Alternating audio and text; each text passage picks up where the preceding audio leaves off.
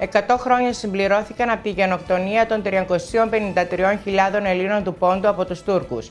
Πώς τιμήθηκε η μνήμη τους στην Ορεστιάδα; Πώς θα επαναλειτουργήσουν οι αθλητικοί χώροι στο Δήμο Ορεστιάδας; Τι λέει ο πρόεδρος του ΧΠΑ Γιάννης Παπαϊωάννου; Με κλήρωση θα αναδειχθεί ο κυπελούχος Εύρου λόγω της διακοπής των αθλητικών διοργανώσεων. Πότε θα πραγματοποιηθεί η κλήρωση και πού; Κυρίες και κύριοι, χαίρετε. 3η 19 Μαου σήμερα και είναι το κεντρικό δελτίο ειδήσεων της Δημοτικής Τηλεόρασης Ορεστιάδας. 100 χρόνια συμπληρώθηκαν από τη γενοκτονία των Ελλήνων του Πόντου από τους Τούρκους. Φέτος οι εκδηλώσεις μνήμης λόγω κορονοϊού ήταν παντού περιορισμένες και στα όρια των μέτρων προστασίας.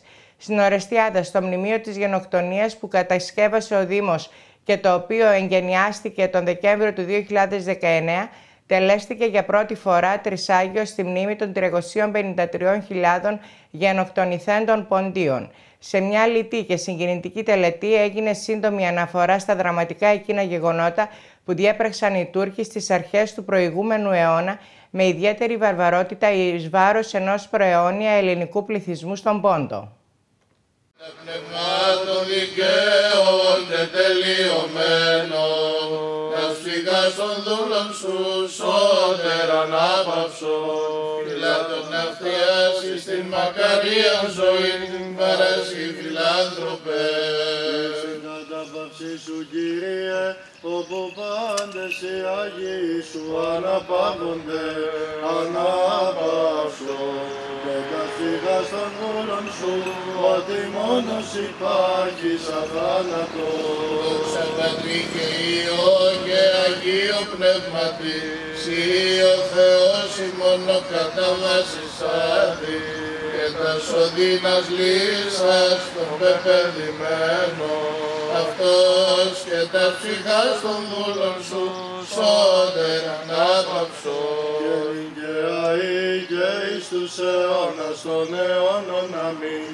Η μόνη ανή και ακράντος παρθένος, η Θεόν αφράστος γησάσα. Πες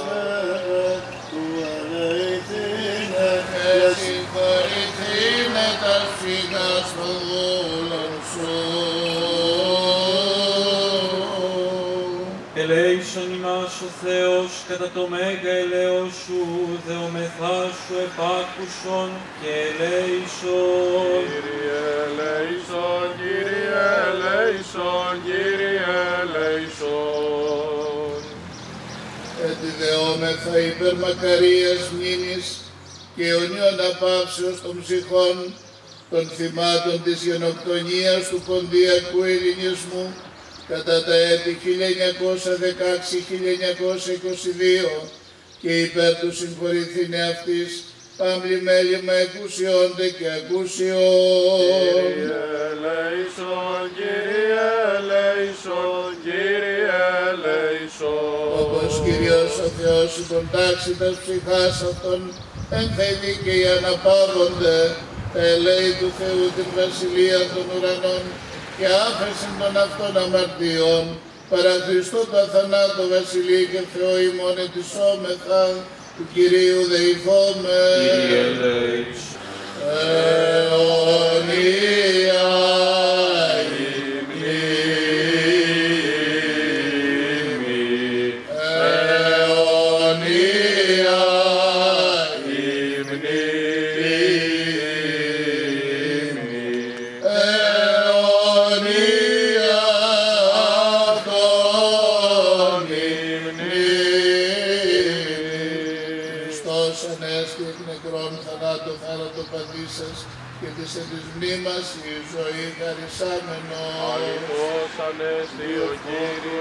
Η 19η Μαΐου έχει οριστεί από το Ελληνικό Κοινοβούλιο επίσημα ως ημέρα μνήμης της γενοκτονίας των Ελλήνων του Πόντου με τα ποντιακά σωματεία και συλλόγους ανά τον κόσμο να αγωνίζονται για την αναγνώριση από την τουρκική κυβέρνηση του αποτρόπαιου εγκλήματος της γενοκτονίας 353.000 ποντίων και όλων όσων επακολούθησαν. Στην Ορεστιάδα, σε μια λυτή και συγκινητική τελετή, έγινε το τρισάγιο στη μνήμη των χιλιάδων αυτών ποντίων.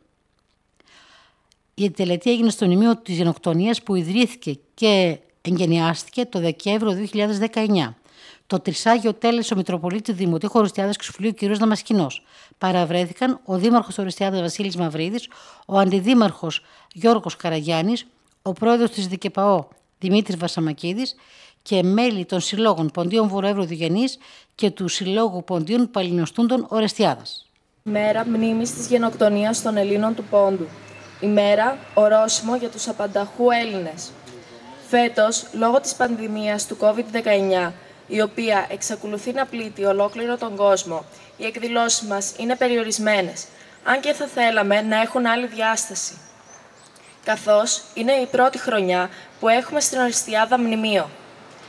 Θέλω εκ μέρους όλων των μελών του Συλλόγου να ευχαριστήσω τον Δήμαρχο Οριστιάδα Βασίλη Μαυρίδη, τον Πρόεδρο της Επιτροπής για το Μνημείο Γιώργο Καραγιάννη και όλο το Διοικητικό Συμβούλιο για την απόφαση ίδρυσης του Μνημείου Γενοκτονία των Ποντίων. Εδώ στην ακριτική και προσφυγική Οριστιάδα, τη δεύτερη πατρίδα μας. Σήμερα, με ένα απλό, λιτό, αλλά περιεκτικό τρόπο, τιμούμε τους 353.000 αδικοχαμένους προγόνους μας, που γενοκτονήθηκαν από τους Τούρκους με μαρτυρικό και απάνθρωπο τρόπο την περίοδο του 1914-1922. Δεν θα αναφερθώ αναλυτικά στα δραματικά γεγονότα, είναι γνωστά.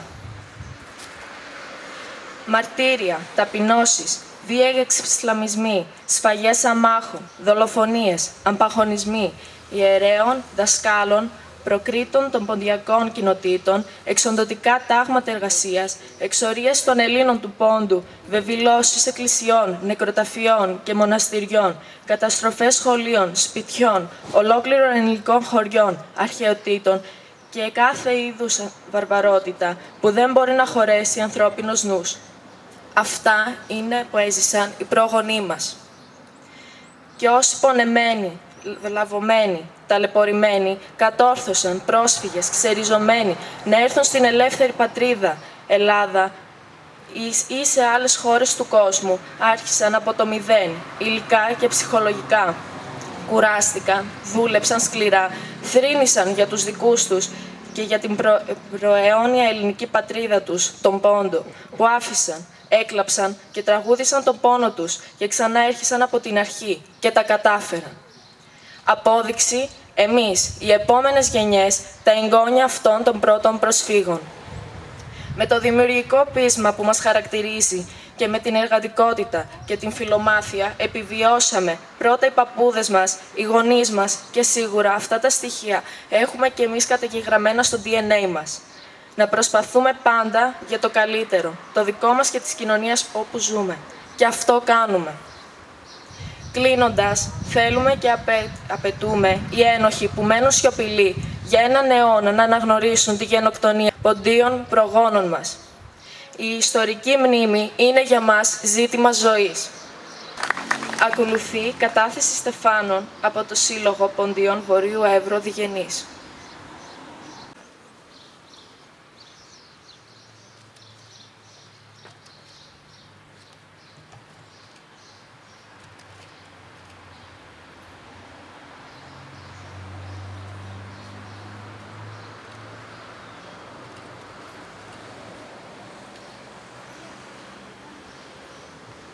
Ακολουθεί κατάθεση στεφάνων από το δήμαρχο της πόλης μας.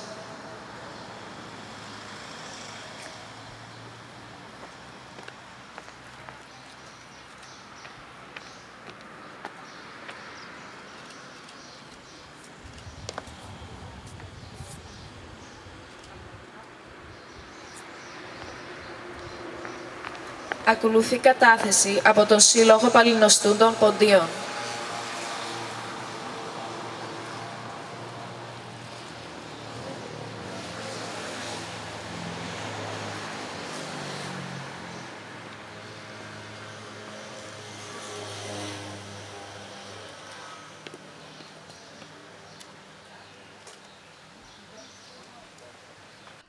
Μήνυμα για την ημέρα μνήμης της γενοκτονίας των Ποντίων έστειλε η πρόεδρος της Δημοκρατίας Κατερίνα Σακελαροπούλου. Η ανάληψη της ευθύνης για ιδεαχθείς πράξεις του παρελθόντος και η ειλικρινής μεταμέλεια αποτελούν δείγμα γενναιότητας και ευθύνης ηγετών που προσβλέπουν σε ένα μέλλον ειρηνικής συνύπαρξης και ευημερίας των λαών, τονίζει η πρόεδρος της Δημοκρατίας, κυρία Σαγελαροπούλου, στο μήνυμά της για την ημέρα μνήμης της γενοκτονίας των 353.000 Ελλήνων του Πόντου. Σήμερα τιμούμε τα εκατοντάδες χιλιάδες θύματα των Ελλήνων του Πόντου που χάθηκαν πριν από έναν αιώνα, σημειώνει η κυρία Σακελαροπούλου και υπενθυμίζει ότι η Ελλάδα καθώς και άλλες χώρες έχουν αναγνωρίσει τη γενοκτονία αυτή, αποτείοντας με τον τρόπο αυτό τον ελάχιστο φόρο τιμής και μνήμης στη θυσία του ποντιακού ελληνισμού. Παράλληλα, υπογραμμίζει ότι οφείλουμε να αναλογιστούμε την τεράστια συμβολή και ενεργό συμμετοχή των διασωθέντων Ελλήνων του Πόντου στην ανόρθωση του ελληνικού κράτους υπό εξαιρετικά δύσκολες συνθήκες, στην οικονομική ανάταση καθώς και στην άνθηση της ελληνική παιδείας και του πολιτισμού κατά τον 20ο αιώνα. Καταλήγοντας, η πρόεδρος της Δημοκρατίας επισημαίνει ότι η διεθνής κοινότητα έχει χρέος να φέρνει στο φως και να καταδικάζει ενέργειες αποτρόπαιη βαρβαρότητας, όπως η συστηματική εξολόθρευση αθώων πολιτών, προκειμένου όχι μόνο να διαφυλαχτεί η μνήμη των θυμάτων, αλλά και να αποτραπούν παρόμοια εγκλήματα κατά της ανθρωπότητας στο μέλλον να διατηρήσουμε ζωντανά τα ήθη και τα έθιμά τους στη μοναδική κουλτούρα τους και φυσικά να συνεχίσουμε να αγωνιζόμαστε ανεξαρτήτως κομματικών πεπιθήσεων για τη διεθνή αναγνώριση της γενοκτονίας των ποντίων, αφού μόνο μέσα από την αποδοχή της ιστορικής αλήθειας μπορεί να υπάρξει ειλικρινή συνεργασία ανάμεσα στους λαούς. Η γνώση της ιστορίας δεν αποτελεί μόνο χρέος προς όλους εκείνους που θυσιάστηκαν, αλλά και ισχυρό θεμέλιο για την οικοδόμηση ενός πιο σταθερού και ειρηνικού μέλλοντος, ανέφερε ο Υπουργός Εσωτερικών Τάκης Θεοδωρικάκος. Με αφορμή τη σημερινή ημέρα μνήμης της γενοκτονίας των Ελλήνων του Πόντου, ακολουθεί ένα απόσπασμα από παλιότερη συνέντευξη που παραχώρησε ο συγγραφέας Γιάννης Καλπούζος στη συνάδελφο Βέρα Μαυρίδου και αφορά στο βιβλίο του Σέρα, η ψυχή του πόντου. Είναι ένα βιβλίο με πολλά ιστορικά στοιχεία και εμπεριστατωμένη έρευνα που έκανε ο συγγραφέας. Ανακαλύπτει κανείς σε όλα μου τα βιβλία και στα πεζογραφήματα ποιητικά κομμάτια και έναν λόγο που προσεγγίζει την ποίηση. Ωστόσο, τα τελευταία χρόνια έχει απορροφήσει το ενδιαφέρον μου αποκλειστικά το ιστορικό μυθιστόρημα.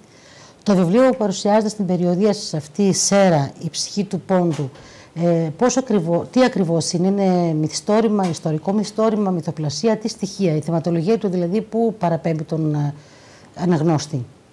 Έχει καθιερωθεί ο όρος ιστορικό μυθιστόρημα, πολλές φορές λέω είναι κοινωνικά μυθιστορήματα με φόντο την ιστορία.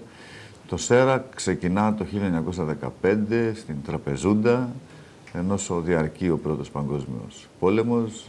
Οι άντρες οι περισσότεροι άντρες του ελληνισμού του πόντου στενάζουν στα τάγματα εργασίας, στα περιβόητα αμελέ ταμπουρού, από που ελάχιστοι έβγαιναν ζωντανοί και οι χωροφύλακες να κυνηγούν τους φυγόστατους, τους δραπέτες και να επιβάλλουν σκληρά αντίπεινα στους συγγενείς τους. Εν ώψη των σφαγών του εκτοπισμού και των σφαγών των Αρμενίων, ένα κορίτσι που μοιάζει να το ζωγράφησε με τα ίδια του τα χέρια ο Θεός, είναι πανέμορφη, μια Αρμενοπούλα, καταφεύγει στο σπίτι ενός αγνώστου για να σωθεί. Ένα άλλο κορίτσι, μια άλλη κοπέλα, πολλά χιλιόμετρα μακρύτερα, προς τα δυτικά, στην Ορντού, η Κωτίωρα, ετοιμάζεται για το γάμο της. Και ανάμεσα σε αυτές τις δυο γυναίκες διχάζεται ο Γαλινός Φιλονίδης, ο κεντρικός ήρωας του μυθιστορήματος, ο οποίος ζει στην Τραπεζούντα, είναι φιλόλογος, σπουδαγμένος στην Αθήνα, απόφυτος του φροντιστηρίου του λαμπρότερου εκπαιδευτικού ιδρύματος του Πόντου, και πολύ θρήσκος, ε, ακολουθεί τα ήθη της εποχής. Παρ' όλα αυτά διχάζεται ερωτικά ανάμεσα στις δύο γυναίκες και δοκιμάζονται οι ηθικές αρχές του. Γύρω από αυτά τα τρία πρόσωπα ξεκινά μια πολύ περιπετειώδη μυθοπλασία και έχει την ευκαιρία ο αναγνώστης να δει στο υπόστρωμα και στο προσκήνιο όσα συνέβησαν μέχρι την ανταλλαγή των πληθυσμών, τη γενοκτονία των Αρμενίων, τη γενοκτονία των Ποντίων σε δύο χρονικές περιόδους, τη διετή κατάληψη της τραπεζούντας από τα τσαρικά στρατεύματα και την άτακτη υποχωρησή τους, τις προσπάθειες για την δημιουργία ελληνικής δημοκρατίας του Πόντου με σύνορα από το Βατούμ μέχρι τη Συνόπη, αλλά και όλη αυτό, όλο αυτό που λέμε ανθρωπογεωγραφία, δηλαδή τα έθιμα, τα ήθη, πώς διασκέδαζαν οι άνθρωποι, τι φορούσαν, πώς ήταν τα σπίτια τους, οι δρόμοι, μια και την ίδια χρονική περίοδο υπάρχουν χρονικά διαστήματα, μικρότερα ή μεγαλύτερα και ανάλογα βεβαίως με την περιοχή, που οι ρυθμοί της καθημερινότητας είναι ομαλοί, είναι ειρηνικές περίοδοι και έτσι μπορεί να ανακαλύψει κανείς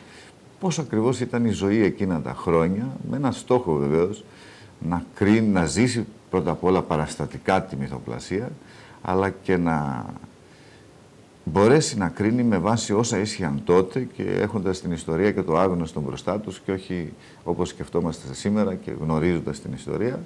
Βεβαίως η μυθοπλασία στη συνέχεια μεταφέρεται η δράση στη Σοβιετική Ένωση και εκεί ένα πολύ ιδιαίτερα ενδιαφέρουσα περίοδος στα πρώτα χρόνια εφαρμογής του κομμουνιστικού συστήματος στη Σοβιετική Ένωση. Έχουμε και εκεί τις διώξεις των Ελλήνων επί Στάλιν.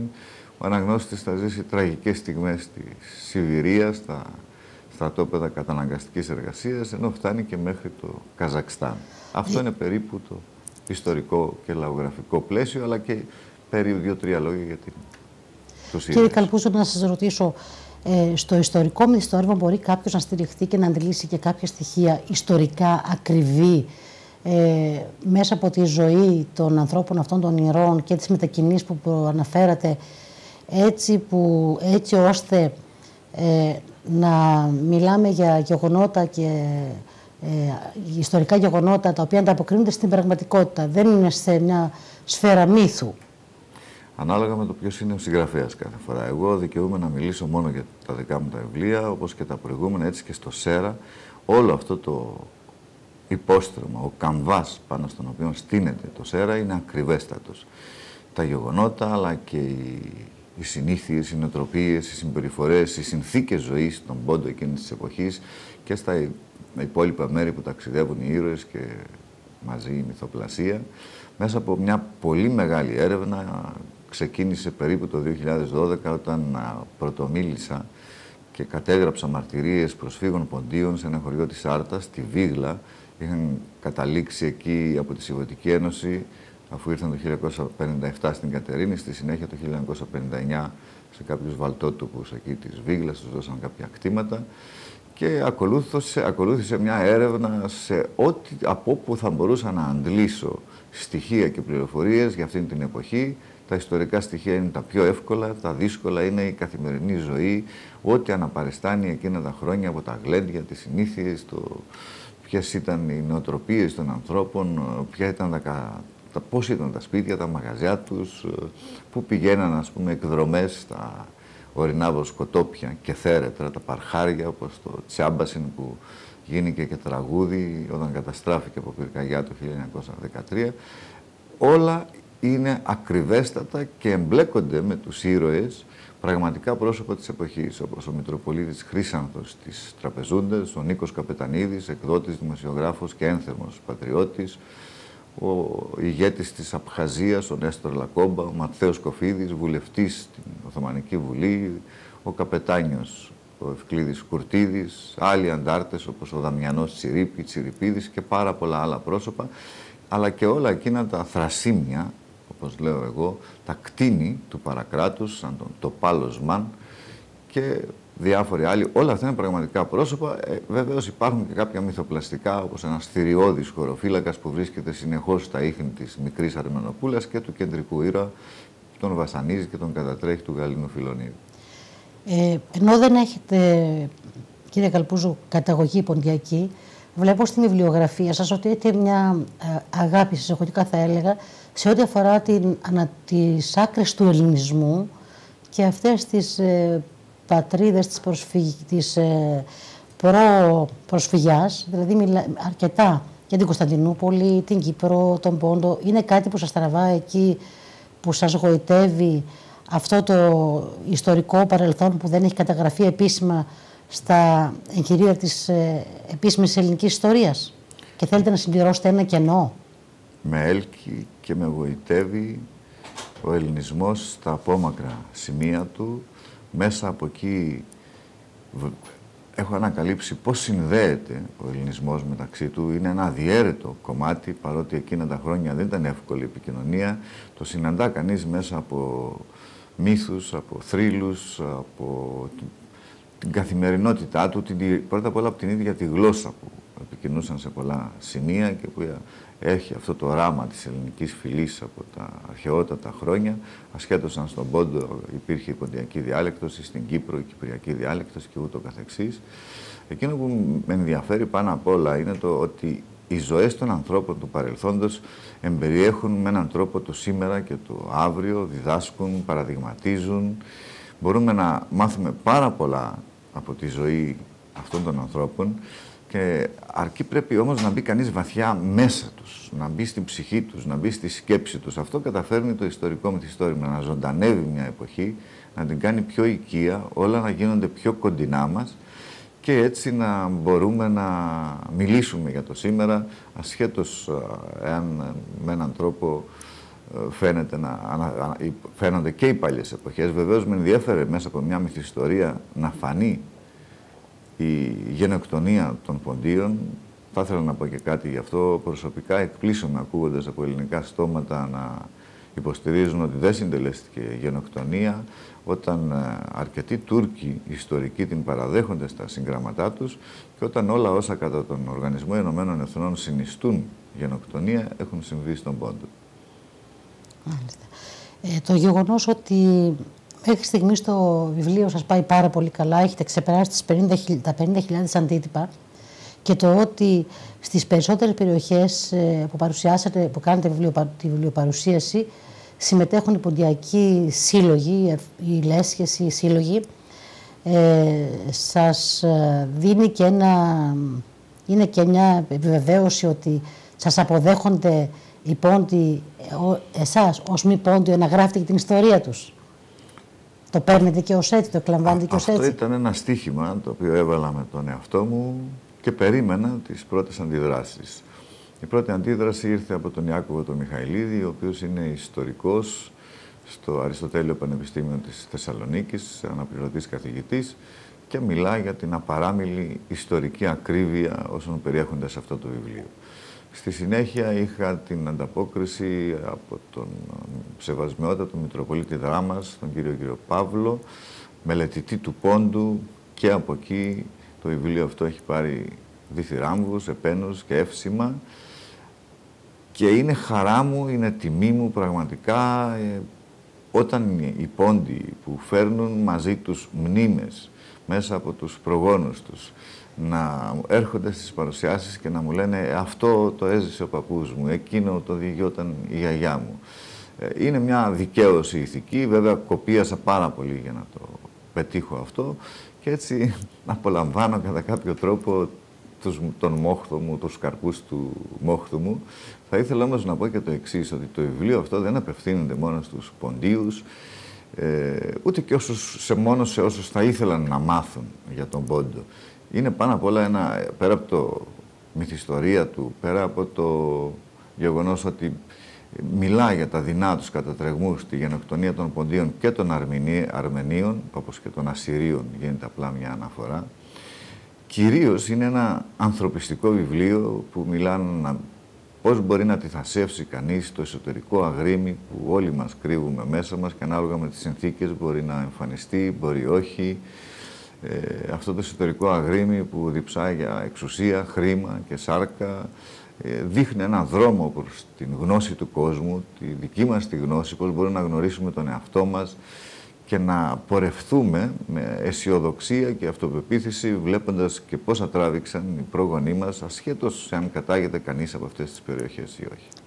Επαναλειτουργούν οι αθλητικοί χώροι στο Δήμο Ορεστιάτες ύστερα από την σταδιακή άρση των περιοριστικών μέτρων. Το Κέντρο Κοινωνικής Προστασίας, Αλληλεγγύης και Αθλητισμού του Δήμου έχει την ευθύνη της στήριξη των μέτρων προστασίας και για το θέμα αυτό μίλησε στη Δημοτική Τηλεόραση ο πρόεδρος του ΚΠΑΔΟ Γιάννης Παπαϊωάννου υπό προποθέσει και μέτρα προστασίας, άνοιξε ένα αθλητική χώρη στο Δήμο Ορεστιάδα. Για το θέμα μίλησε ο πρόεδρος του ΕΚΠΑΔΟ, που είναι και υπεύθυνο για τους αθλητικούς χώρους, Γιάννης Παπαγιάννου. Μετά την κοινή υπουργική απόφαση στις 17 Πέμπτου 2020, αποφασίστηκε να λειτουργήσουν τα εξής. Το ανοιχτό γήπεδο Ορεστιάδο, το κλειστό με Σαμαράς, το κλειστό, το παλιό που είναι κοντά στα ακροταφεία, όπως και το κολυβητήριο. Ε, οι αθλητές που θα συμμετέχουν από κάθε σωματείο και κάθε συλλόγος, οι οποίοι είναι νόμιμα και εγκεκριμένα από το πρωτοδικείο, μπορούν να συμμετέχουν με ένα συγκεκριμένο αριθμό. Πριν φτάσουμε σε όλη τη διαδικασία, ώρες λειτουργίες των παραπάνω γυμναστήριων είναι εξής. Το κολυβητήριο θα λειτουργεί από τις 2.30 το μεσημέρι μέχρι τις 10 το βράδυ. Η συμμετοχή των αθλητών θα είναι εκεί με, τις, με 16 άτομα σε κάθε, σε κάθε 90 λεπτά. Δηλαδή έχουμε 8 διαδρομές, είναι 16 αθλητές. Σε κάθε διαδρομή 2 άτομα. Άρα τι σημαίνει, έχουμε τρία σωματεία που συμμετέχουν, θα πάρει ο καθένας από μια μισή ώρα στη συμμετοχή του και στο σύνολο 16 αθλητών οι οποίοι θα είναι από 13 ετών και άνω. Όχι κάτω από 13 ετών. Φυσικά το 13 ετών ισχύει και στο κλειστό και στο ανοιχτό γήπεδο στο Εθνικό Οστιάδος. Τι σημαίνει η άθλησή τους μέσα σε αυτούς τους χώρους; Δεν παίρνουν μπάλα στα χέρια τους, δεν παίρνουν βαράκια στα χέρια τους, δεν παίρνουν τίποτα στα χέρια τους. Μπαίνουν μέσα, ξεντίνονται στο κάθισμα, γυμνάζονται και αποχωρούν. Δεν χρησιμοποιούν τουζέρε, δεν χρησιμοποιούν τίποτα. Εμείς ως Δημοτική Αρχή και ως Πάδο έχουμε όλες τις προποθέσει μπαίνοντας και βγαίνοντας στους αθλητές. Προβλέπεται από τον ΚΙΕ μια κατάσταση η οποία καταγράφονται τα αρώματά τους με την ταυτότητά τους και με τη βεβαίωση υγείας από τον γιατρό τους. Ελέγχονται με αυτή τη διαδικασία, μπαίνουν μέσα, γυμνάζονται και αποχωρούν. Αυτό, αυτό γίνεται σε όλα τα γήπεδα. Και στα ανοιχτά και στα κλειστά και στο κολυβητήριο. Οι ώρες λειτουργία, όπως είπα, στο κολυβητήριο είναι 2,5-10. Ε, στο κλειστό, στο παλιό είναι 2,5 πάλι με 10. Στο ανοιχτό, στο ανοιχτό είναι 8,5 με 12 το πρωί και 5,5 με 8,5 το βράδυ. Ποιοι θα μπορούν να αθλούνται στην πρώτη φάση, διευκρίνησε ο κ. Παπαγιάννου. Στο ανοιχτό γήπεδο μπορούν να συμμετέχουν τα σωματεία, τα αεραστενικά που υπάρχουν τους Στίβου, οι υποψήφιοι συνοροφύλακε, οι υποψήφοι της Τρίτης Λυκειού για τις σχολές αστυνομίας, σχολές στρατού και τεφά. Υπάρχει και μια άλλη διαδικασία. Είναι κάποιοι μαθητές τη Τρίτης Λυκειού, οι οποίοι θα δώσουν εξετάσεις στον πορικό ναυτικό και καπάρο. Για αυτού θα ανοίξει μετά την κοινή υπουργική απόφαση από Δευτέρα 25 του μήνο. Η ώρα προσέλευσης αυτών των ανθρώπων, των μαθητών, θα γίνεται 2,5 με 3,5. Ε, Εμείς θα εφαρμόσουμε πλήρως την κοινή υπουργική απόφαση μέχρι νεοτέρας. Άρα, τι σημαίνει αυτό; 16 λέμε στο κολυβητήριο, έως 80 λέμε στο ανοιχτό και 30, 30 και ένας αθλητής σε 30 τετραγωνικά μέσα στα κλειστά π.χ. ας πούμε στο κλειστό το παλιό μπορούν να συμμετέχουν μέχρι 22 αθλητές. Στο, στο καινούριο κλειστό του Σαμαρά μέχρι 28. Άρα ο κάθε υπάλληλος του ΠΑΔΟ που παραβρίσκεται στην είσοδο του κάθε κτηρίου αυτού του αθλητικού κέντρου θα έχει το τραπεζάκι του, θα καταγράφει τα ονόματα και τη, και τη βεβαίωση υγείας και θα μπαίνει να αθλείται μέσα. Και ξαναλέω μέσα. Δεν πιάνει τίποτα. Μόνο αθλείται τύπου στίβου. Δεν κάνει βαράκια, ε, δεν παίζει μπάλα, δεν κάνει τίποτα. Αυτή είναι η όρη μέχρι νεοτέρα συνταγή. Ορίστηκαν από το ΚΠΑΔΟ, από μένα, ε, ένας υπάλληλος σε κάθε δομή και ένας υπάλληλος. Υπάλληλος πάνω στο Σαμαράς, υπάλληλος στο κλειστό, υπάλληλος στο ανοιχτό, υπάλληλος στο κλειστό και υπάλληλος στο κολυβητήριο. Ο οποίος καταγράφει λεπτομερώς τα στοιχεία που μπαίνει μέσα ο αθλητής. Ποια είναι τα στοιχεία; Υπάρχει μια κατάσταση, γράφεται το όνομά του, η ώρα προσέλευση, τη βεβαίωση υγείας που έχει, ότι είναι καλός, από τον γιατρό του, τον παθολόγο αυτόν που έχει, και μπαίνει στη διαδικασία της γύμνασης. Μόλις τελειώσει το ανώτερο μέχρι 90 λεπτά η γύμνασή του, αποχωρεί και γράφεται η ώρα που αποχωρεί. Αυτή τη στιγμή το ανοιχτό γήπεδο δεν είναι για το κοινό. Προς το παρόν είναι μόνο για αθλούμενους. Γι' αυτό θέλω λίγο να συμμορφωθούμε, να μην είμαστε αρεστικοί όταν πηγαίνουμε κάποιοι μεγαλύτερης ηλικία. Ο χρόνος πιστεύω πλησιάζει, θα δοθεί εντολή να μπαίνουν και πολίτες, στο, πιστεύω με την επόμενη Δευτέρα. Πιστεύω. Προς το παρόν όμως μόνο για τους αθλούμενους. Και ιδιαίτερα έγινε πιστεύω για αυτούς που θα δώσουν εξετάσεις επιτροπής στην τρίτη ηλικίου. Και μαθητής της τρίτης ηλικίου για να μπει μέσα πρέπει να, δώσει, να δείξει και τη βεβαίωση ότι δήλωσε την παραπάνω ειδικότητα. Στην άθληση δεν πιάνουμε ούτε μπάλα, ούτε βαράκια, ούτε μονόζυγο, ούτε μπασκέτα. Δεν πιάνουμε τίποτα στα χέρια μας. Μόνο αθλούμαστε με κλήρωση θα αναδειχθεί ο κυπελούχος Εύρου λόγω της διακοπής των αθλητικών διοργανώσεων. Η κλήρωση θα πραγματοποιηθεί από την ΕΠΣ Εύρου την ερχόμενη Τετάρτη στις 8 το βράδυ στην αίθουσα του Δημοτικού Συμβουλίου Διδημοτήχου. Με κλήρωση θα αναδειχθεί ο κυπελούχος Εύρου καθώς πρωταθλήματα και διοργανώσεις έχουν διακοπεί. Στην κλήρωση θα μετέχουν 7 ομάδες, οι οποίες είχαν προκριθεί μέχρι την διακοπή της διοργάνωσης. Την Τετάρτη στις 20 του μηνός, στις 8 η ώρα, στο, στο χώρο του Δημοτικού Συμβουλίου του Δήμου Διδημοτήχου, θα πραγματοποιηθεί η κλήρωση της ΕΠ Σεύρου για την ανάδειξη του κυπελούχου του νομού μας μετά από την απόφαση που πήρε η ΕΠΟ και έχουν σταματήσει τα παιχνίδια όπως γνωρίζετε σε όλα τα αεραστεχνικά πρωταθλήματα. Έτσι λοιπόν ε, πρέπει και εμείς να αναδείξουμε κυπελούχος στον νομό μας, ο οποίος θα μας εκπροσωπήσει στην, ε, στο κύπελο Ελλάδος που θα διοργανωθεί, που θα ξεκινήσει το Σεπτέμβριο.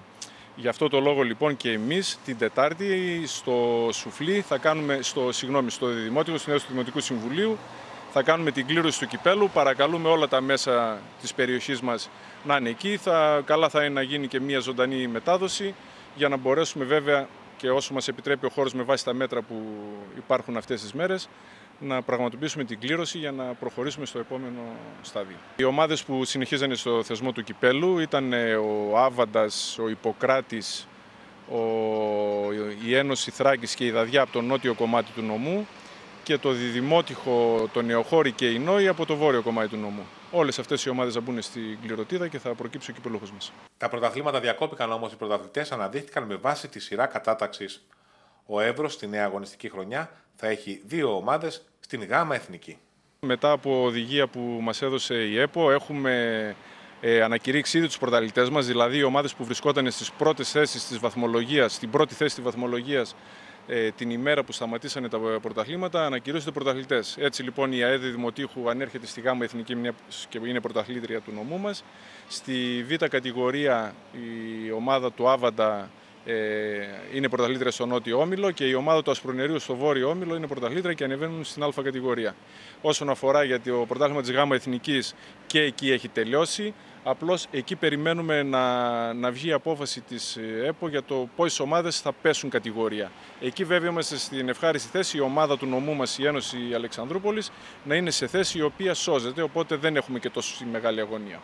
Άρα το χρόνο θα έχουμε δύο ομάδες στην ΓΑΜΑ Εθνική. Του χρόνου θα έχουμε δύο ομάδες και μετά από πολλά χρόνια θα έχουμε δύο ομάδες στη ΓΑΜΑ Εθνική. Είναι πάρα πολύ καλό αυτό για το ποδόσφαιρο του νομού μας. Ελπίζουμε να είναι αυτό το σκαλοπάτι που χρειαζόμαστε και ψάχνουμε τόσο καιρό ώστε να αναβαθμιστεί ως ένα σημείο το ποδόσφαιρο του νομού μας. Την πορεία και τα τελευταία στοιχεία κρουσμάτων και θυμάτων από τον COVID-19 παρουσίασε ο λοιμοξιολόγος Σωτήρης Τσόντρας, εκπρόσωπος της επιστημονικής ομάδας του Υπουργείου. Η πορεία της πανδημίας είναι ευθύνουσα, αλλά ο ιός είναι εδώ, τόνισε μεταξύ άλλων ο κύριος Τσόντρας και συνέστησε στους πολίτες να τηρούν τα μέτρα προστασίας σχολαστικά τώρα που επιστρέφει η χώρα μας σταδιακά στην καθημερινότητα. Έως σήμερα περισσότερα από 4.924.000 κρούσματα του νέου κορονοϊού τα οποία έχουν εργαστηριακά επιβεβαιωθεί έχουν καταγραφεί σε παγκόσμιο επίπεδο. Περισσότεροι από 1.928.000 συνάνθρωποι μας ανέρωσαν και έγιναν καλά ενώ είχαν μολυνθεί από τον ιό. Παγκόσμια έχουν καταγραφεί 320.816 θάνατοι με περισσότερους από τους μισούς στην Ευρωπαϊκή Ήπειρο. Η Ρωσία πλέον αναφέρει τις περισσότερες περιπτώσεις της νόσου στον κόσμο μετά τις ΗΠΑ με περίπου 300.000 καταγεγραμμένες περιπτώσεις της νόσου ενώ στείνονται κινητά νοσοκομεία πεδίου για εργαζόμενους στις περιοχές των ορυχείων. Στην Βραζιλία τα νοσοκομεία δέχονται τεράστιες πιέσεις. Ένας ιός από το βορρά μέχρι το νότο, από την Ανατολή μέχρι τη Δύση, ταλαιπωρεί σε παγκόσμιο επίπεδο. Στη Σουηδία πέθαναν τον Απρίλιο του 2020 περισσότεροι άνθρωποι από οιονδήποτε μήνα εδώ και 26 χρόνια. Σήμερα ανακοινώνουμε τέσσερα νέα κρούσματα του νέου ιού στη χώρα. Ο συνολικός αριθμός των κρούσματων είναι 2.840, εκ των οποίων το 55,1% αφορά άνδρες. 616 θεωρούνται σχετιζόμενα με ταξίδια από το εξωτερικό και 1.475, το 52% είναι σχετιζόμενα με ήδη γνωστό κρούσμα. 22 συμπολίτες μας νοσηλεύονται διασωληνωμένοι. Η διάμεση ηλικία τους είναι τα 73 έτη. 9 είναι γυναίκες και οι υπόλοιποι άνδρες. Το 95,5% έχει υποκείμενο νόσημα ή έχουν ηλικία 70 ετών και άνω. 95 ασθενείς έχουν εξέλθει από τις ΜΕΘ. Τέλος, σήμερα καταγράφουμε 0 θανάτους και συνολικά στη χώρα έχουμε καταγράψει ως σήμερα 165 θανάτους σχετιζόμενους με τον νέο κορονοϊό. 47 ήταν γυναίκες και οι υπόλοιποι άνδρες. Η διάμεση ηλικία των θανόντων συμπολιτών μας ήταν τα 75 έτη. Το 94% είχε κάποιο υποκείμενο νόσημα ή και ηλικία 70 ετών και άνω. Έχουν συνολικά ελεγχθεί 136.001 κλινικά δείγματα. Με αφορμή το χθεσινό πρώτο webinar για την επίδραση της νόσου COVID-19 στο μεταμοσχευτικό τοπίο, που διοργάνωσαν ο Εθνικός Οργανισμός Μεταμοσχεύσεων και το Ενάσιο Καρδιοχειρουργικό Κέντρο, με την υποστήριξη του Ιδρύματος ΟΝΑΣΗ και στο οποίο συμμετείχαμε ο Υπουργός Υγείας Βασίλης Κικίλιας και ο Υφυπουργός Υγείας Βασίλης Κοντοζαμάνης, θέλω να επισημάνω ότι τώρα που αυτή η πανδημία μας διδάσκει ανθρωπιά και αλληλεγγύη, ίσως να είναι η καλύτερη ευκαιρία να υιοθετήσουμε ως κοινωνία μια θετική στάση για τις μεταμοσχεύσεις, οι οποίες σώζουν ζωές. Η δημιουργία του Ονασίου Εθνικού Μεταμοσχευτικού Κέντρου ας γίνει η αφορμή να το πετύχουμε. Με τα τελευταία δεδομένα του Παγκόσμιου Οργανισμού Υγείας υπάρχουν τουλάχιστον 8 διαφορετικά εμβόλια με διαφορετικές τεχνολογίες που δοκιμάζονται αυτή τη στιγμή σε 10 κλινικές δοκιμές σε ανθρώπους, δύο εκ των οποίων είναι σε φάση 2, που σημαίνει πως θα συμμετέχει μεγαλύτερος αριθμός υγιών εθελοντών. Άλλα 110 προγράμματα ανάπτυξης εμβολίων είναι στο προκλινικό επίπεδο έρευνας. Εχθές ανακοινώθηκαν θετικά αποτελέσματα από ένα από τα νέα δοκιμαζόμενα πειραματικά εμβόλια, το οποίο έδειξε θετικά πρόληψη της νόσου σε μελέτη με πειραματόζωα, ενώ σε μικρή πρώιμη μελέτη υγιών εθελοντών ηλικίας 18-55 έδειξε την ανάπτυξη εξουδετερωτικών αντισωμάτων σε επίπεδα παρόμοια με τα επίπεδα αντισωμάτων ασθενών που ανέρωσαν από τη λίμωξη με τον νέο κορονοϊό. Η μελέτη διεξήχθη από το Εθνικό Ίδρυμα Υγείας των ΗΠΑ. Στους συμμετέχοντες χορηγήθηκαν διαφορετικές δόσεις του εμβολίου, οι οποίες έδειξαν δοσοεξαρτώμενη απάντηση σχετικά με τα αντισώματα. Τι σημαίνει αυτό; Σημαίνει πως στην υψηλότερη δόση ήταν υψηλότερο και το επίπεδο αντισωμάτων του οργανισμού. Οι ερευνητές πάντα διαλέγουν τη χαμηλότερη δόση του εμβολίου που προκαλεί την καλύτερη ανάπτυξη αντισωμάτων χωρίς παρενέργειες, κάτι που γίνεται πάντα με τα εμβόλια. Το συγκεκριμένο εμβόλιο βασίζεται σε μια νέα τεχνολογία όπου μόρια messenger RNA κατευθύνουν τα κύτταρα του οργανισμού στην παραγωγή αντισωμάτων. Αυτή τη στιγμή το εμβόλιο εξετάζεται για άτομα ηλικίας 55 με 70 και 71 και άνω. Ενώ το εμβόλιο χορηγείται σε δύο δόσεις με διαφορά 4 εβδομάδων. Μεγαλύτερες μελέτες θα ξεκινήσουν μέσα στον Ιούλιο με 600 άτομα. Εάν πάνε καλά αυτές οι μελέτες, μπορεί να υπάρχει ένα εμβόλιο στο τέλος αυτού του έτους ή τις αρχές του επομένου. Χρειάζεται μεγάλη προσοχή. Οι προσπάθειες για παραγωγή εμβολίου να μην γίνονται βιαστικά. Να προχωρούν με τη μέγιστη δυνατή ασφάλεια και δεδομένη βέβαια την προστασία των ανθρώπων και την τελικά εθελοντική τους συμμετοχή. Σχετικά με τα σχολεία, τα περισσότερα επιστημονικά δεδομένα φαίνεται να δείχνουν πως υπήρξε κάποιο επιδημιολογικό όφελος από τη διακοπή της λειτουργίας τους κατά τη διάρκεια του απογορευτικού, με την ελαχιστοποίηση της μετάδοσης μεταξύ παιδιών, των οικογενειών τους και των δασκάλων τους. Πολλές χώρες της Ευρωπαϊκής Ένωσης έχουν ξεκινήσει την επιστροφή των παιδιών, με φυσική παρουσία στη σχολική τάξη, όπως η Ολλανδία, η Γαλλία, η Ελβετία, η Αυστραλία, από χώρες του εξωτερικού, εκτός Ευρωπαϊκής Ένωσης, ενώ σε κάποιες χώρες όπως η Εστονία, η Ισλανδία και η Σουηδία τα σχολεία δεν έκλεισαν ποτέ. Στη Δανία τα νηπιαγωγεία και τα δημοτικά είναι ανοιχτά περίπου ένα μήνα τώρα. Πρόσφατες δημοσκοπήσεις σε πολλές χώρες του κόσμου εκφράζουν την αγωνία των ανθρώπων προς τη μια ή την άλλη κατεύθυνση. Πολλοί γονείς δεν θέλουν να στείλουν τα μικρά παιδιά στο σχολείο, επικαλούμενοι λόγους ασφαλείας. Κάποιοι μάλιστα θα ήθελαν τα παιδιά να μην πάνε καθόλου σχολείο, έως να υπάρχει αποτελεσματική θεραπεία ή και εμβόλιο, το οποίο όμως αναμένεται να καθυστερήσει αρκετά. Απ' την άλλη μεριά, πολλοί γονείς δεν μπορούν να υποστηρίξουν η αδίποτε εκπαιδευτική διδασκαλία στο σπίτι, ούτε μπορούν να επιστρέψουν στην εργασία τους όσο τα σχολεία είναι κλειστά. Πρέπει ακόμα μια φορά να εστιάσουμε στις καταλληλότερες επιλογές, βάσει των έως τώρα διαθέσιμων δεδομένων αλλά και των αναγκών των παιδιών. Θα προσπαθήσω γρήγορα να αναλύσω τα επιχειρήματα και να εξετάσω τις αγωνίες όλων μας για τα μικρά παιδιά, προσπαθώντας να κρατήσω μια ακριβοδίκαιη και κατά το δυνατόν ορθή επιστημονική στάση, μέσα σε κάποιες αβεβαιότητες που όλοι γνωρίζουμε ότι υπάρχουν σε σχέση με τον νέο ιό. Πέραν όμως των επιστημονικών δεδομένων, που αμέσως θα σας πω, πρέπει να λαμβάνουμε υπόψη και άλλες παραμέτρους όπως κοινωνικές και οικονομικές παραμέτρους. Ενώ υπάρχουν πολλά επιστημονικά επιχειρήματα να επιστρέψουν τα μικρά παιδιά στο σχολείο, πολλοί γονείς προβάλλουν το εξίσου αληθινό επιχείρημα πως η επιστήμη δεν είναι δετερμινιστική. Δεν έχει καταλήξει σε συμπεράσματα της τάξης του 100% ασφάλεια που θα ήθελε να έχει κανείς για τα παιδιά του. Φυσικά και είναι κατανοητό. Επί του παρόντος δεν υπάρχουν επιστημονικά δεδομένα που να σου προσφέρουν απόλυτη εγγύηση ότι η επιστροφή στο σχολείο είναι τελείως ασφαλής και πως κανένα παιδί δεν διατρέχει κίνδυνο. Μετά ως τώρα δεδομένα τα παιδιά είναι λιγότερο πιθανό να μολυνθούν. και νοσούν υπιότερα, ενώ ο ρόλος τους στη μετάδοση της νόσου φαίνεται να υπάρχει, αλλά ίσως σε περιορισμένο βαθμό. Ακόμα δεν είναι ξεκάθαρο. Αυτές οι γενικές διαπιστώσεις εκφράζουν το μέσο όρο και δεν αποτελούν εγγύηση για το τι θα συμβεί στο κάθε παιδί που θα πάει σχολείο. Υπάρχει ένας πολύ μικρός αριθμός παιδιών που ενδεχόμενα θα περάσουν σοβαρά την νόσο, όπως και άνθρωποι μεγάλης ηλικίας που θα την περάσουν ελαφρά.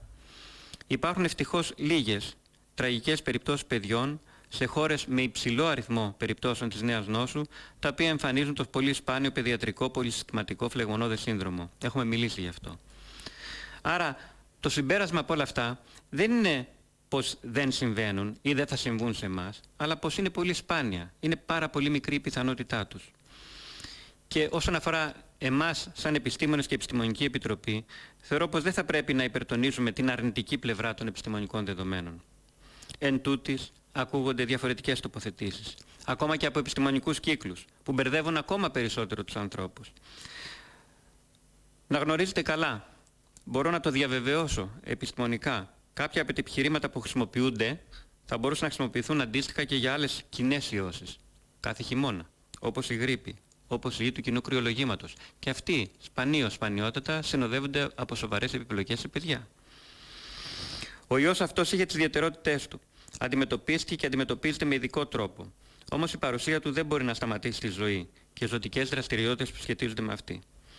Ας δούμε όμως και κάποια άλλα επιχειρήματα που λειτουργούν υπέρ του ανοίγματος των σχολείων. Πρώτον, υπάρχει μια κρυφή ανισότητα στη μάθηση και την εκπαίδευση για τα παιδιά που ανήκουν σε πιο φτωχές οικογένειες, η οποία ενισχύεται σε περιόδους πάυσης λειτουργίας των σχολείων, ακόμα και στις καλοκαιρινές διακοπές. Αυτό έχει δειχθεί με σχολικές έρευνες πως συμβαίνει και συμβαίνει λόγω της μικρότερης πιθανότητας αυτά τα παιδιά στο σπίτι να έχουν ένα περιβάλλον που να ευνοεί τη μαθησιακή εκπαιδευτική διαδικασία και συνήθως διαβάζουν λιγότερο σε τέτοιες περιόδους. Δεύτερον, υπάρχει σαφώς ένα κόστος σε χαμένη εκπαιδευτική διαδικασία, σε χαμένη γνώση. Αυτό δεν έχει ευρέως αξιολογηθεί και ιδιαίτερα με τον νέο κορονοϊό. Σε μελέτες του εξωτερικού, η πλειονότητα των παιδιών είτε δεν είχε καλή πρόσβαση, είτε δεν παρακολουθούσε πλήρως τα διαδικτυακά μαθήματα. Οι περισσότεροι μαθητές, μαθήτριες σε κάποιες έρευνες του εξωτερικού έως και 75% δεν ολοκλήρωναν καν την εργασία που τους είχε ανατεθεί. Τρίτον, αναγνωρίζονται όλο και περισσότερο σημαντικές επιπτώσεις του απαγορευτικού στην πνευματική και ψυχική υγεία των παιδιών, με εμφάνιση άγχους, απομόνωσης, φαινόμενα όπως ο εθισμός στο διαδίκτυο, κυρίως λόγω της απομάκρυνσης από τα σχολεία και το φιλικό τους καθημερινό περιβάλλον. Ας μην υποτιμάμε την επιρροή του σχολείου στην κοινωνικοποίηση των παιδιών. Αυτή τη στιγμή έχουμε παιδιά στα σπίτια που εδώ και εβδομάδες δεν έχουν ουσιαστική επαφή με συνομιλικούς τους. Τέταρτον, υπάρχουν οικονομικοί λόγοι που αφορούν τους γονείς και την κοινωνία. Εγώ δεν είμαι ειδικός να τους αναλύσω. Η UNICEF σε πρόσφατες δηλώσεις της σχετικά με την επαναλειτουργία των σχολείων συνέστησε να συνεξετάζουν οι αρχές, η πολιτική ηγεσία, τα ωφέλη και τους κινδύνους στην εκπαίδευση, στη δημόσια υγεία, τις επιπτώσεις σε κοινωνικονομικά μεγέθη, χρησιμοποιώντας τα καλύτερα διαθέσιμα δεδομένα. Τι θα λειτουργήσει προς το καλύτερο συμφέρον του κάθε παιδιού και του οικογενειακού του περιβάλλοντος ξεχωριστά, είναι το κρίσιμο ερώτημα. Για ένα παιδί που ανήκει σε μια ευπαθή ομάδα, ένα παιδί που μένει με τη γιαγιά ή τον παππού ή κάποια άλλη ευπαθή ομάδα στο σπίτι, ένα παιδί που ζει σε ένα σπίτι που συστεγάζονται πολλές γενιές μαζί, είναι σημαντικό για την υγεία του, την υγεία τους, να μην πάει στο σχολείο αυτή τη στιγμή, με στόχο όμως να μην βλαφθούν και οι υπόλοιποι παράμετροι που προαναφέραμε. Το κόστος της μη παρακολούθησης θα είναι πάντα υψηλότερο για ένα παιδί που έχει λιγότερες ευκαιρίες πρόσβασης στη μάθηση, για ένα παιδί που ζει ενδεχομένως σε ένα δύσκολο οικογενειακό περιβάλλον. Τέλος, είναι σημαντικό να ξέρει κανείς τι θα κάνει το παιδί που δεν θα πάει σχολείο. Αν είναι σπίτι σε απομόνωση, σαφώς και είναι ασφαλέστερο από το να εκτεθεί στο νέο ιό με την επαφή του με τον έξω κόσμο, με τα άλλα παιδιά. Αν όμως ένα παιδί βγαίνει για να παίξει στη γειτονιά και στις πλατείες, εκτίθεται σε επαφή ούτως ή άλλως. Και μάλιστα σε ένα περιβάλλον μη ελεγχόμενο, όπου δεν είναι και σίγουρο ότι τηρούνται τα μέτρα. Είμαστε έτοιμοι να κρατήσουμε τα παιδιά μας σε απομόνωση. Κανείς δεν μπορεί να αποδείξει αυτή τη στιγμή πως οι κίνδυνοι είναι περισσότεροι από το όφελος των παιδιών που επανέρχονται στη σχολική διαδικασία. Βέβαια, κάτι που λειτουργεί καλά για ένα παιδί μπορεί να μην λειτουργεί καλά για ένα άλλο. Οριζόντιες αποφάσεις είναι εξαιρετικά δύσκολο να λαμβάνονται σε αυτή τη φάση. Ποια είναι η καταλληλότερη στρατηγική για την πατρίδα μας, όταν μάλιστα δεν έχουμε όλα τα δεδομένα, όπως και οι περισσότερες χώρες. Φαίνεται πως δεν υπάρχει ούτε και είναι απαραίτητη μια εγγύηση 100% για την επιστροφή των παιδιών στις τάξεις. Για τα νηπιαγωγεία και τους παιδικούς σταθμούς είναι ακόμα πιο δύσκολα τα πράγματα. Εκεί είναι σαφές πως δεν είναι πρακτικά εφικτή η διατήρηση της απόστασης. Και εκεί υπάρχουν άλλοι κανόνες. Η υγιεινή των χεριών, το να μην φέρουν τα παιδιά παιχνίδια από το σπίτι, το να, μην γίνονται περισσότερες δραστηρι... το να γίνονται περισσότερες δραστηριότητες σε υπαίθριους χώρους, το να χωρίζονται τα παιδιά σε μικρές ομάδες, το να απαγορεύεται η είσοδος των γονέων στο κτίριο ή και να διατηρούνται αποστάσεις μεταξύ των γονέων στις θύρες του σχολείου είναι κάποια από τα μέτρα που προτείνουν διεθνείς οργανισμοί. Το άνοιγμα των σχολείων για τα μικρά παιδιά παραμένει ένα σύνθετο δίλημα. Υπάρχουν αρκετά υπέρ και κάποιοι ενδιασμοί. Απ' την άλλη, η δεδομένη χρονική στιγμή μοιάζει καταλληλότερη για να επιστρέψουν τα περισσότερα παιδιά υπό προϋποθέσεις στην κανονικότητα που τους στερήσαμε. Κατά τη γνώμη μου, τα ωφέλη είναι περισσότερα από τους κινδύνους. Και όσο περνά ο καιρός, το κοινωνικό κόστος του να κρατά κανείς σχολεία κλειστά θα μεγενθύνεται. Μπορεί να επιστρέψουν στα δημοτικά τα παιδιά μας με κανόνες υγιεινής, με κάποια μέτρα απόστασης προσαρμοσμένα στη λειτουργία του σχολείου, στην ασφάλεια των παιδιών και του προσωπικού. Ήδη στις γειτονιές μας έχουν αρχίσει πολλά παιδιά να παίζουν μαζί. Το σημαντικότερο από όλα είναι να έχουμε και να μπορούμε να έχουμε ένα συνεχή έλεγχο και εκτίμηση των δεδομένων. Σε πραγματικό χρόνο, κατά του δυνατόν, ώστε το τρίπτυχο για το οποίο μιλάμε όλο αυτό τον καιρό, του ελέγχου, της συχνηλάτησης, της απομόνωσης, να τηρείται προσεκτικά, όπως σε όλους τους χώρους και στο χώρο του σχολείου. Δεν πρέπει να μείνουμε στην περιπτωσιολογία. Ζούμε κάτι έκτακτο. Κάθε οικογένεια, κάθε παιδί είναι διαφορετικό. Αλλά να μην μείνουμε σε αυτό. Η αλήθεια είναι πως τελικά ό,τι και να εισηγηθεί η Επιστημονική μας Επιτροπή, ό,τι και να αποφασίσει η πολιτεία, την καλύτερη απόφαση για τα παιδιά τους θα την πάρουν στο οικογενειακό περιβάλλον οι δικοί τους άνθρωποι, οι οικοί με γνώμονα τι είναι το καλύτερο για το παιδί τους, τι συμφέρει το παιδί τους πιο πολύ αυτή τη στιγμή. Κατά τη χθεσινή διάσκεψη υπουργών του Παγκόσμιου Οργανισμού Υγείας, περισσότερες από 100 χώρες, μεταξύ των οποίων η Αυστραλία και η Κίνα, συμφώνησαν σε ψήφισμα της Ευρωπαϊκής Ένωσης πως θα προβούν σε μια ανεξάρτητη αξιολόγηση του χειρισμού της πανδημίας σε παγκόσμιο επίπεδο. Από τον ίδιο τον Οργανισμό Υγείας, αλλά και άλλες χώρες. Όλοι μας έχουμε ένα μάθημα από την πανδημία και τον έως τώρα χειρισμό της. Κάθε χώρα, κάθε οργανισμός πρέπει να μάθει από την εμπειρία να αναγνωρίσει την ανάγκη της συνεχούς αξιολόγησης όλων αυτών που συμμετείχαν στο χειρισμό και της καλόπιστης συζήτησης για ανάγκες περαιτέρω βελτίωσης σε μελλοντικούς χειρισμούς. Σύμφωνα με τον επικεφαλής του Παγκόσμιου Οργανισμού Υγείας, ο κίνδυνος παραμένει σε υψηλά επίπεδα. Αρχικά αποτελέσματα από ορολογικούς ελέγχους με αντισώματα δείχνουν στην καλύτερη ποσοστά 20% σε κάποιες μεμονωμένες γεωγραφικές περιοχές χωρών με μεγάλη εξάπλωση της νόσου, ενώ στις περισσότερες χώρες του κόσμου έχει μολυνθεί λιγότερο από 10% του πληθυσμού. Ο δρόμος μας προς την επιστροφή θα συνεχιστεί. Με προσοχή, με έλεγχο, με τα καλύτερα διαθέσιμα επιστημονικά κριτήρια. Χωρίς έμφαση στις αβεβαιότητες. Σας ευχαριστώ.